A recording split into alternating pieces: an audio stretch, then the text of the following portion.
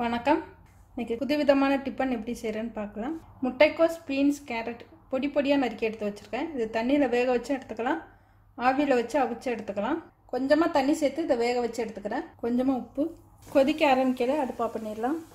இப்போ இந்த காயை மட்டும் தனியாக அரைச்சி எடுத்துக்கணும்.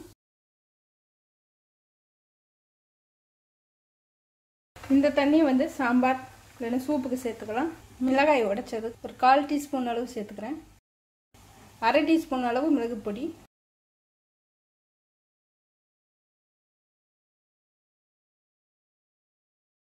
காய்கறிக்கு தகுந்த மாதிரி சேர்த்துக்கணும்.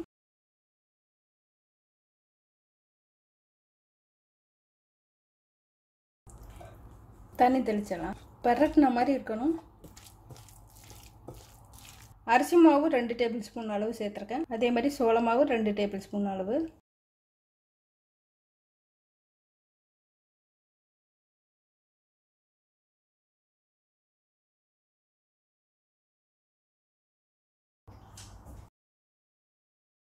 இட்லி பாத்திரத்தில் தண்ணி வச்சுட்டு அவிச்சு எடுத்துக்கலாம்.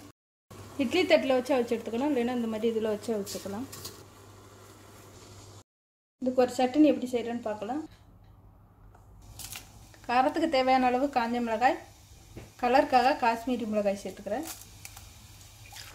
இது நல்லா வேக வச்சுட்டு தக்காளியோட தோலை எடுத்துக்கணும். தோலை மட்டும் தனியாக எடுத்துக்கணும். வெண்ணெய் சேர்த்துக்கணும். காஞ்ச மிளகாய் பூண்டு பல். ஒரு நாலஞ்சு பூண்டு பல் எடுத்து நைஸாக நறுக்கிட்டு சேர்த்துருக்கேன். வெங்காயம் பெரிய வெங்காயத்தில் பாதி வெங்காயம் சேர்க்குறேன். அரைச்ச விழுத சேர்த்துடலாம். தேவையான அளவு உப்பு சீனி கொஞ்சம் சோயா சாஸ். இருந்தால் சேர்த்துக்கலாம் இல்லைன்னா அப்படியே எடுத்துக்கலாம்.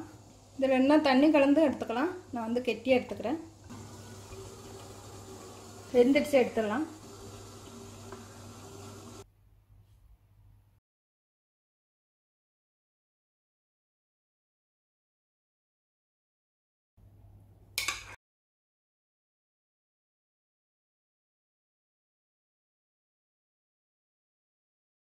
இப்போ இது ரெடி ஆயிடுச்சு. நன்றி.